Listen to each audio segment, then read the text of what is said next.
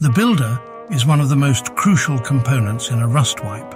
Their constant research of new blueprints and base designs, they spend hours practicing builds on build servers.